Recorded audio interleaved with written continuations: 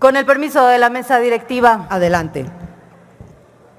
Las consecuencias del cambio climático son cada vez más evidentes. De nuevo, en Nayarit. Nayarit vivió este fin de semana el impacto del huracán Roslin. Hasta este momento siguen comunidades incomunicadas, sin luz, sin señal, personas desaparecidas y dos muertes. Viviendas, escuelas, caminos y cosechas han sido devastadas. En los medios de comunicación no salimos, y voy a hacer una denuncia puntual haciéndome responsable de mis palabras, no salimos en los medios nacionales porque no les llegamos al precio. Se ha llegado al absurdo de mencionarnos como una zona escasamente poblada entre Puerto Vallarta y Mazatlán. O también de referirse a nosotros como una aldea pesquera para referirse al municipio de San Blas.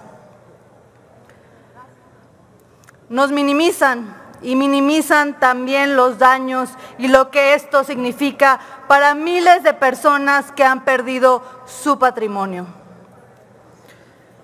En cuatro años, el norte de Nayarit ha sufrido dos veces el desbordamiento del río San Pedro.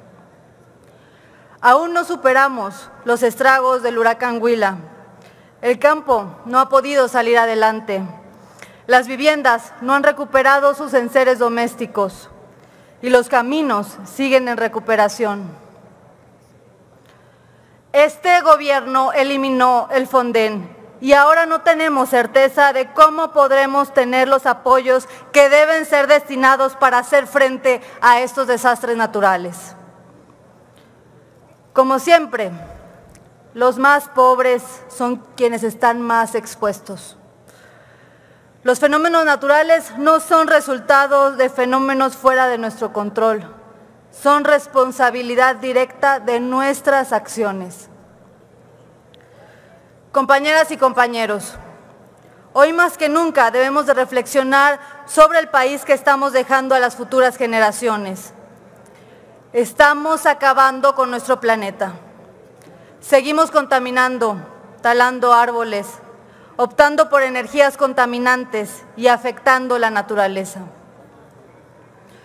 Hoy mi tierra sufre los efectos de acciones irresponsables que han generado el cambio climático. Hoy, desde esta tribuna, pido que se, declare zona de emergencia al norte de Nayarit y que lleguen los apoyos a quienes más lo necesitan. Nayarit necesita su solidaridad. Fuerza, Nayarit.